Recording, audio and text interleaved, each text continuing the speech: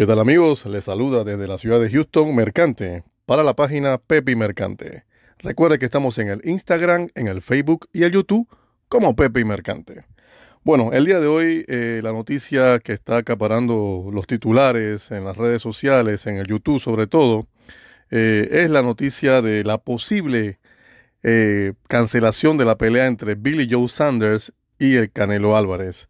Al parecer, por causas del tamaño del ring, del tamaño del cuadrilátero en el que se enfrentarían estos dos boxeadores, ya que el padre, todo lo que vamos aquí a conversar con ustedes es basado en, las declaraciones que dijo el padre, algunas cosas que hemos podido ver de respuestas de Canelo al tema en una, en una rueda de prensa.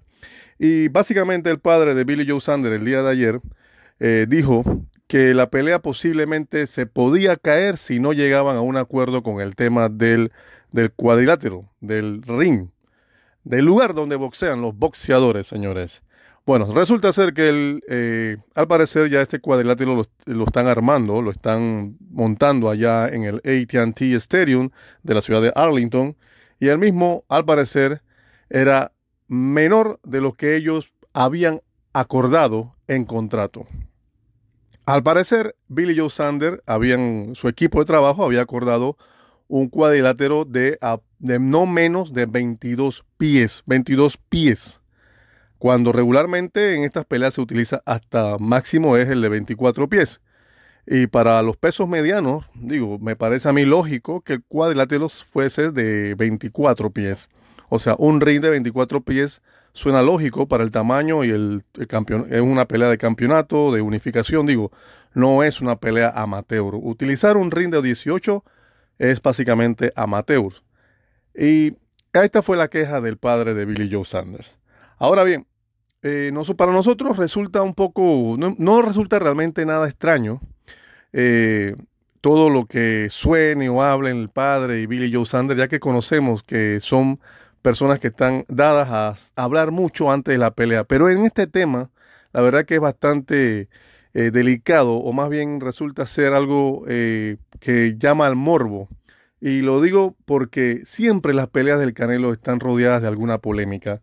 Y lamentablemente, esta no ha fallado en la polémica. Primero Billy Joe Sander quejándose de que tenían en contrato un, un árbitro perdón, unos jueces, un juez mexicano, un juez inglés y un juez de la organización acá de la de Texas, de la, de la Comisión de Texas. Y esa queja la puso, fue la primera queja de, la que habló. Al parecer después la, la negó el mismo promotor Eddie Heard. Eddie Heard dijo que no, tú no firmaste eso, tú firmaste fue para tres jueces independientes.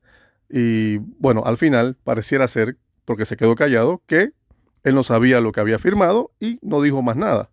Ahora en el tema del cuadrilátero, del ring de boxeo, al, vuelven y dicen lo mismo, que ellos firmaron para un ring no menor de 22 pies y que el que estaban montando en Arlington, el que están montando es de 18, otros, otras notas dicen que de 20, pero al final lo que, lo que queda claro es que no quieren pelear en, uno, en, uno, en un ring que no tenga mínimamente los 22 pies.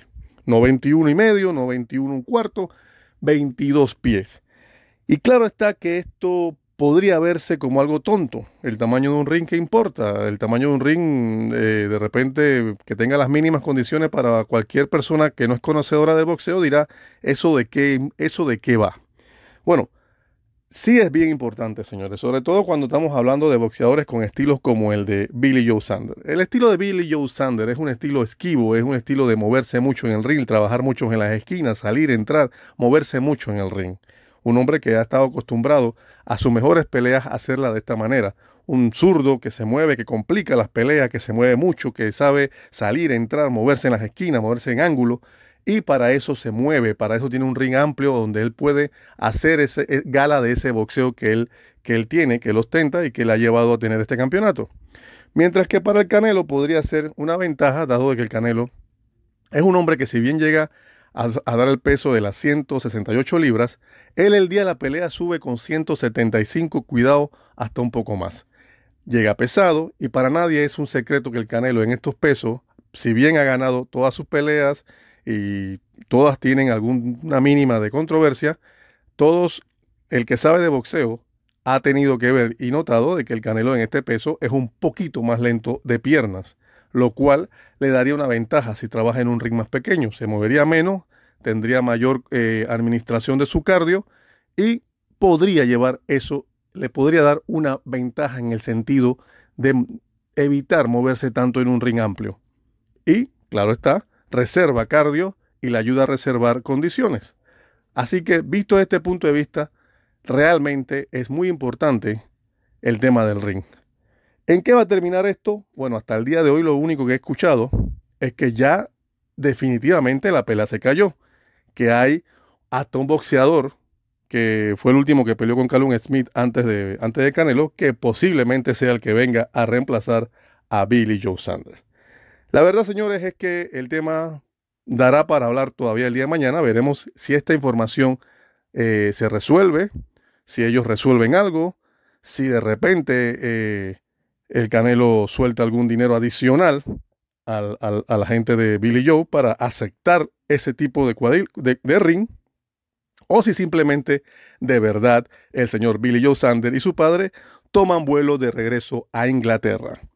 Sería para mí una gran sorpresa y, me, y, me, y les digo la verdad, respetaría mucho y se ganaría mi respeto si Billy Joe Sander toma, toma la decisión de irse o dejar la pelea por, e, porque no se le cumple con algo como eso.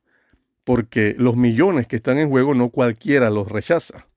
Así que si en realidad el tema del ring para él es importante y deja la pelea, por eso, sintiéndose afectado de que le querían coartar su boxeo, para mí se ganaría un respeto porque sería la primera persona que al ver una condición que no le conviene, deja millones de millones de dólares atrás para simplemente mostrar que él vale como boxeador.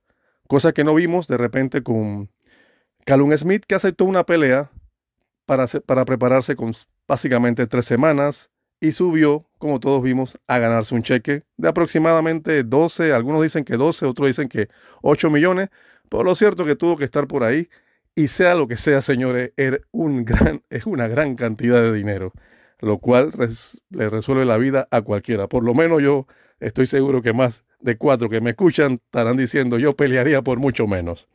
Bueno, señores, la verdad es que mañana veremos qué sucede, qué ocurre.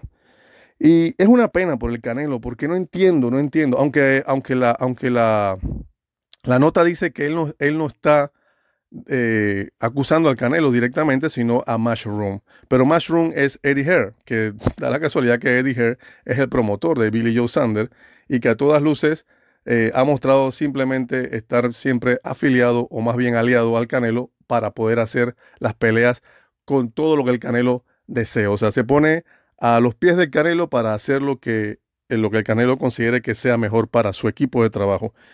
No, no acuso al Canelo de nada. Eh, al final esto es un negocio, ellos tienen que cuidar sus intereses. Pero me parece que en la parte boxística, si sabemos que un cuadrilátero de 22 pies es lo mínimo para, para ese tipo de combate, y también de 24, que es lo típico, más bien, ¿por qué hacer estas movidas? ¿Por qué hacer esto? ¿Por qué empañar la pelea? ¿Por qué?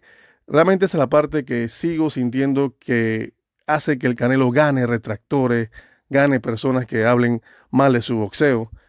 Y lo hacen a veces, yo no sé si pensando en realidad, eh, creyendo que la gente es tonta, porque a todo esto, digo, Eddie Hare podrá, podrá ser Mushroom, pero Mushroom está promoviendo más bien la carrera del Canelo en vez de la carrera de los ingleses, como ya vimos. Vimos a Billy Joe, vimos a, a Billy Joe Sander ya hablar de eso en, en, en sus redes y bueno, es un comentario que hicieron, hasta fue apoyado por Tyson Fury donde decían que eh, Eddie Hare estaba simplemente apoyando todas las decisiones del Canelo y que él no estaba haciendo nada por promover a sus boxeadores británicos.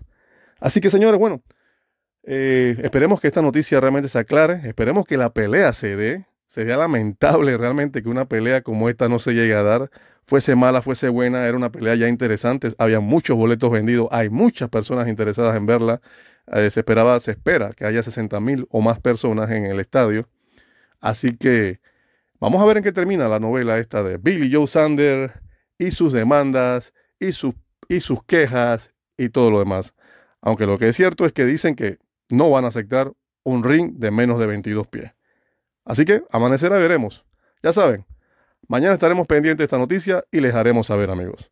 No hay tiempo para más y recuerden, suscríbanse, apoyen la página Pepe y Mercante, siempre con ustedes aquí con el boxeo.